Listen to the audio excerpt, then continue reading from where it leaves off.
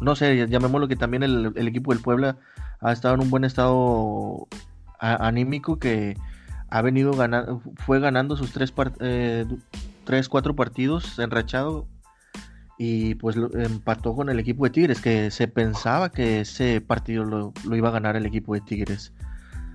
Y ahora el equipo de, que gana con un gol de Edu Vargas, casi igual en los últimos minutos. Digo, el equipo de Tigres ha venido eh, sufriendo esos partidos. Y ahora con el de Bravos, que pues el de Bravos bien se sabe que es un equipo eh, en esta temporada fue un equipo, ha sido un equipo fuerte, un equipo un poquito más sólido que pues, los equipos regios.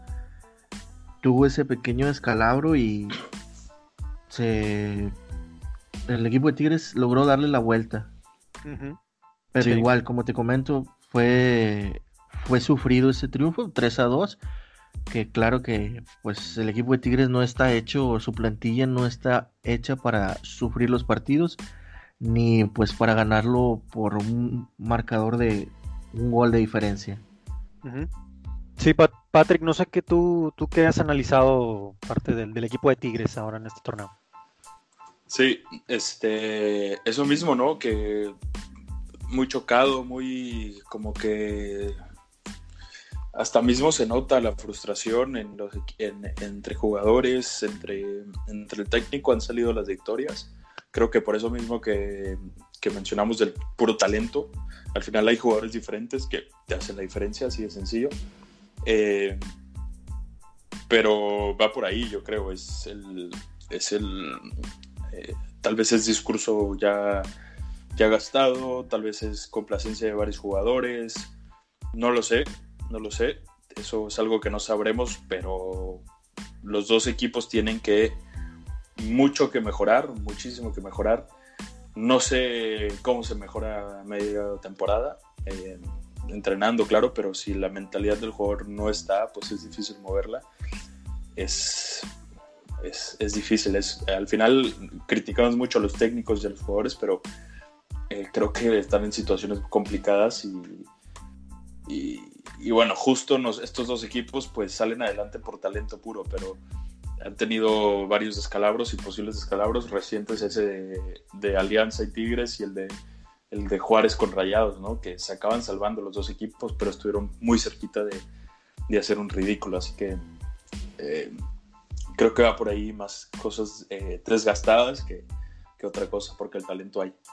Sí, sí, definitivamente. de hecho, son las dos plantillas más caras, si, si mal no recuerdo. Por ahí el América lo incluimos en tercer lugar pero al momento Monterrey y Tigres son de las plantillas más caras de, la competencia. Entonces, obviamente la exigencia tiene que ser así para que estén en los primeros lugares, ¿no? No, no que esté uno en el, en el último lugar y el otro en el séptimo lugar. ¿Están de acuerdo?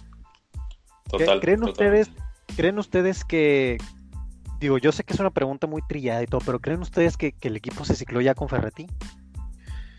La, la verdad es que en, en, ciertos partidos te pudiera decir que, que sí, porque mm, lo venía comentando en episodios anteriores, que el equipo de Tigres cuando gana por una diferencia mayor a dos goles, tres goles, si notas bien el juego, el equipo cambió su forma de su táctica, dejaron mucho el tiki-taka que te vengo mencionando ya. Y sin embargo, cuando juegan más a ese, a pasear la bola, a jugar más hacia atrás, abiertamente.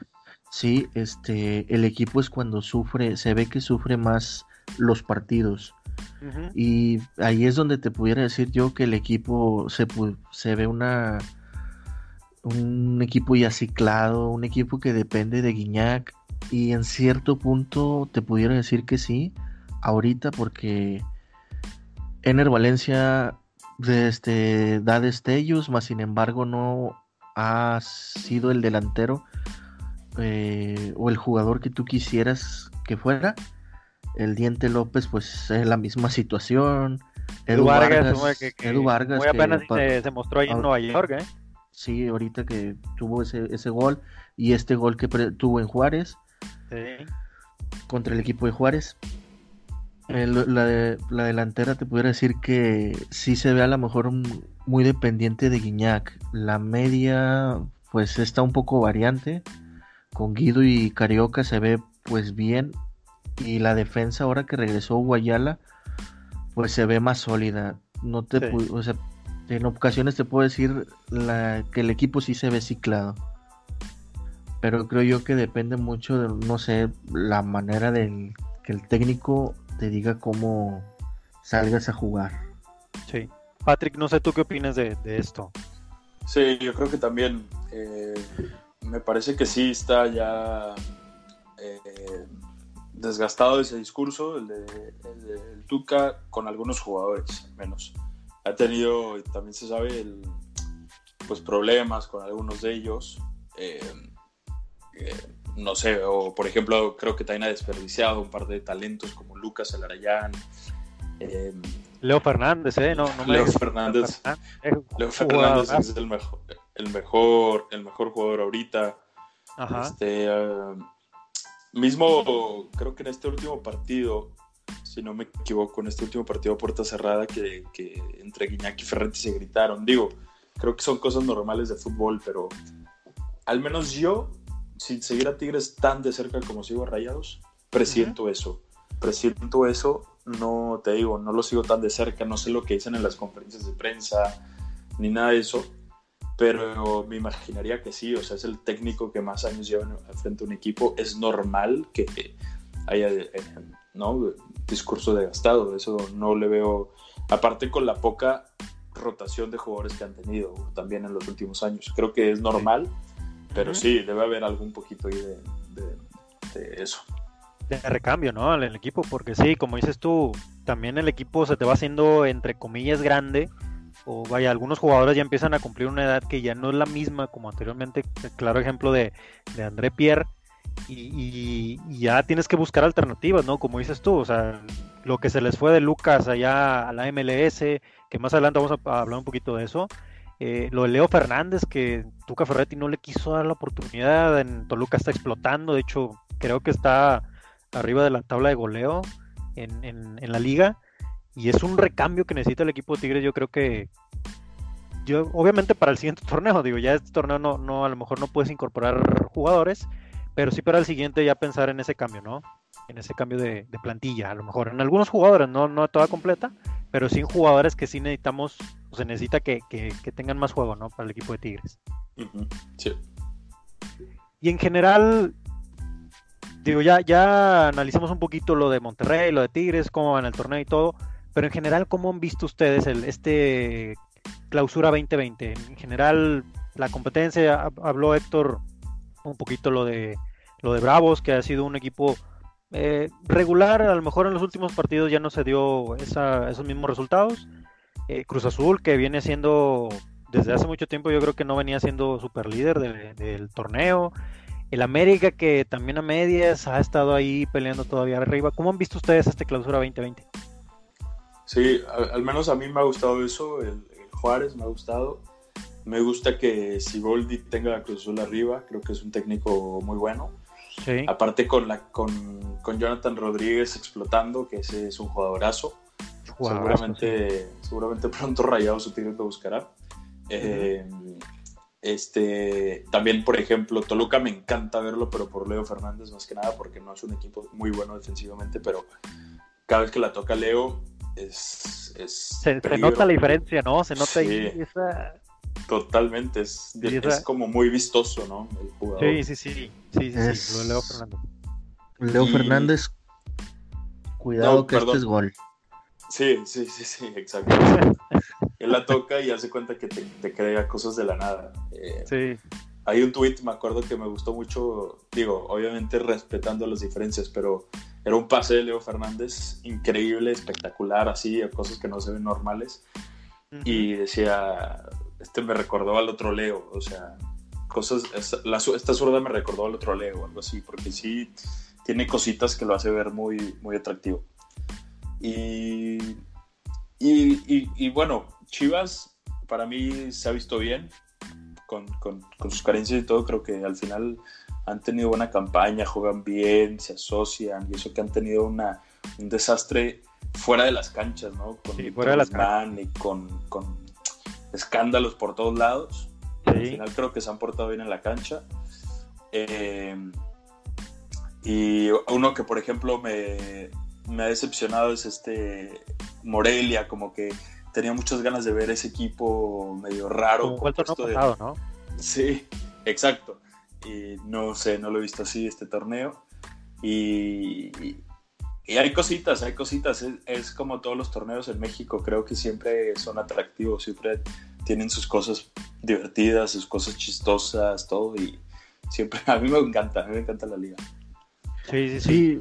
creo yo que, este, como lo mencionas, Patrick, la liga, este, hoy puedes estar en el primer lugar y el, al, cierre de, de, las jornadas, este, pues quedas a lo mejor fuera, o el lugar número, como era la temporada pasada, el lugar número 14 podía llegar a la zona de clasificación.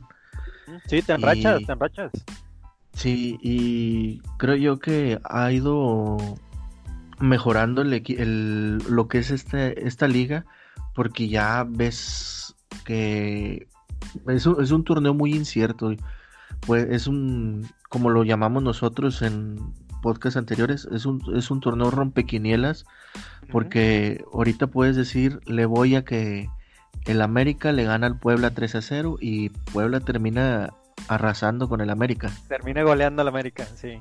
Sí, y el como el uno de los equipos que mencionaste ahorita, creo que el equipo de las Chivas, las Chivolácticas, es un equipo que se dijo en su momento cuando inició que este era un proyecto, pues, eh, que iba a ir dando resultados poco a poco y creo que así, así ha sido. El de entrada, pues no se esperaba que, no se espera que el equipo de, Chivas no quede campeón, pero sí se espera que el equipo de Chivas sea una piedrita en el camino para los equipos, como pues lo, ha sido hasta ahorita. Pues yo creo que los equipos han, digo, el equipo de Chivas se ha ido trabajando poco a poco porque tiene mm, jugadores muy jóvenes que Tena tiene que ir trabajando, irlos madurando, pues poco a poco. Sí, correcto. Sí, lo de Chivas, que, que, como dices tú, va a ser algo incómodo, incluso si, si llega a calificar a la liguilla. No sabemos todavía cómo va a terminar el torneo. De hecho, se, se ha hablado mucho de este tema. Ha habido muchos eh, escenarios del cómo se podría terminar este torneo. Muchos dicen que a lo mejor termina así de esta manera y el Cruzul es campeón, o a lo mejor que califican los primeros ocho así como quedaron y se hace una liguilla express. Eh, no sé, ¿ustedes han escuchado algo de eso? ¿Cómo terminaría este torneo? Bueno, de hecho, este, voy a tomar la palabra.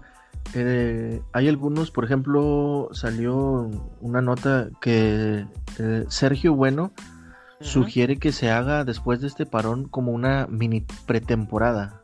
Sí. Porque, pues, y creo yo que sería lo más ideal, no sé, qué plan se tenga para iniciar esto, porque no puedes iniciar, creo yo al menos, que la jornada no la puedes iniciar es de inmediato, la jornada número 11, si en realidad se tiene pensado este, darle continuidad a este torneo.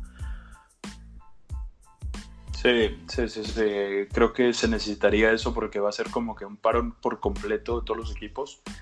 Eh, aunque no creo, depende, ¿no? Es que no sabemos ni cuándo va a regresar esto, pero creo que yo cada vez lo veo más claro que se va a suspender por completo, o sea, se va a cancelar el torneo. O una de dos, o le dan el campeonato a Cruz Azul y punto, o eh, no se juegan los restos de partidos y solo el 1 y el 2 juegan la final, o lo que sea, pero van a ser lo más corto posible. sea, cancelarlo o acabarlo de una dándole el campeonato a alguien.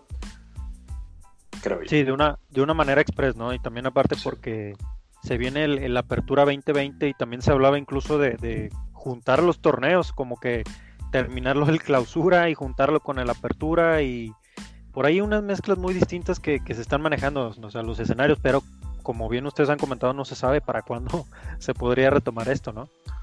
Sí. A mí, a mí, yo, yo creo que al menos por lo que se ve en el mundo y sigues noticias y todo eso, me parece eso. Creo que vamos por, por esos rumbos, ¿no? Por el rumbo de acabar todo esto. Pero eh, claro, hay mucho dinero de promedio. A ver Sí. cómo se decide, no sé.